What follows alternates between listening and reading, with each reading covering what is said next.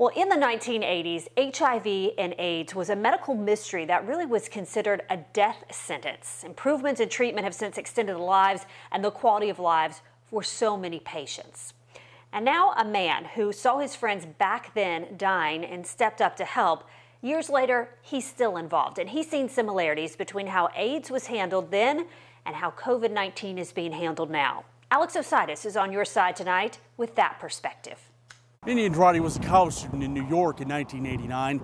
He watched his friends die of AIDS and felt hopeless until he stepped up to volunteer. I was going to travel, and um, and then people started dying left and right. It was like just a horrendous situation. Like I lost all my friends, and um, so at that point, I knew hmm, I have to do something. Andrade is now a case manager for the Northeast Florida AIDS Network. His day to day is checking on clients of the nonprofit making sure they have enough food, they can pay their rent and utilities, and when they can't, network helps out. Just uh, ensuring that, that there's a, continuity, that, that we continue to show the concern and the care that we have for the, uh, the folks we serve. Andrade describes the COVID 19 pandemic as deja vu.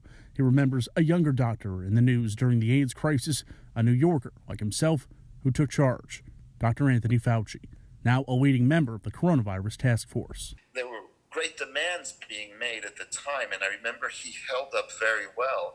And I realized, boy, if he held himself so well back then during the stress, I know that he's stressed once again. In decades serving HIV AIDS patients, Andrade has tried to stay positive and act fast. That's why Andrade's had COVID 19 safety talks with NFAN clients and stayed in touch with doctors. Reporting, Alex Ositis, First Coast News, on your side.